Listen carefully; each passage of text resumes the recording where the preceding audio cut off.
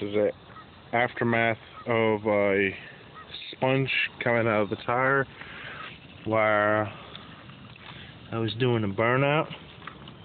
Looks like the tire split where it wore down completely bald and the sponge came out through the hole right there.